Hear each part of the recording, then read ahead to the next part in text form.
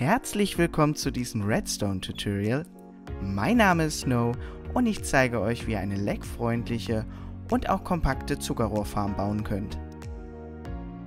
Ich habe euch gestern ja schon die Bambusfarm gezeigt und diese funktioniert ganz ähnlich. Also die ist im Prinzip dieselbe, nur mit dem Unterschied, dass wir hier vorne ähm, Wasser haben, damit das Zuckerrohr auch wachsen kann, beziehungsweise dass man es überhaupt anpflanzen kann. Der Rest ist genauso gebaut wie bei der Bambusfarm gestern und das zeige ich euch jetzt. Und wir fangen mal wieder mit dem leichtesten Part an. Wir bauen eine Trichterstraße. Die könnt ihr wie immer so lang bauen, wie ihr möchtet.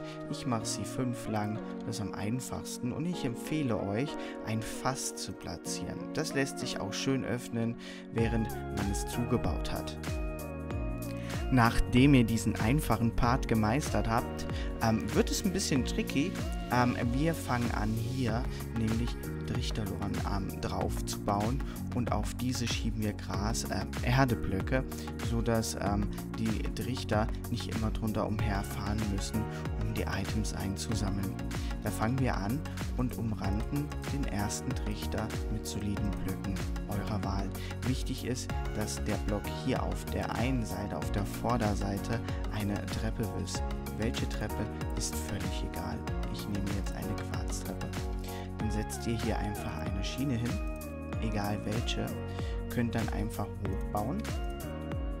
So, platziert einmal die Trichterlore, platziert hier oben den Pisten, dann einmal die Erde über die Trichterlore und zerstört die Schiene drunter. Was ist wichtig, ansonsten lässt sich das nicht zusammenschieben. Und dann aktiviert ihr einmal den Pisten und es ist drin. Und das wiederholt ihr für die restlichen vier oder auch mehr Trichterloren. Nachdem ihr den Part gemeistert habt, ähm, könnt ihr vorne die Treppen schon mal mit Wasser füllen und hinten kommt nochmal ein solider Block als Abstandshalter drauf. Auf diesen soliden Block könnt ihr dann einfach Pistons in die Richtung von dem Zuckerrohr stellen und über diese Pistons setzen wir dann auch nochmal Beobachter. Wichtig ist jetzt, dass ihr hinter diesem Beobachter solide Blöcke macht und unter den ähm, Pistons eins drunter auch nochmal und hinter die Pistons auf den soliden Block dann das Redstone setzt. Somit haben wir den Abfahrmechanismus schon fix und fertig. Jetzt kann auch theoretisch das Abfarmen schon beginnen, allerdings ist es nicht so schön, ähm, wenn das Zuckerrohr abgefahren wird, dass es überall verteilt wird und nicht eingesammelt wird. Deswegen bauen wir noch einen kleinen Kasten um das Zuckerrohr herum, sodass es nicht überall herum schwinden kann. Da empfehle ich euch, einfach irgendein Material zu verwenden, was ihr möchtet. Wichtig ist, dass ein solider Block ist und nicht irgendwie eine Glasscheibe, die nur ein halber Block ist. Ähm, ansonsten kann das Zuckerrohr auch hier vorne fallen und wird nicht aufgesammelt.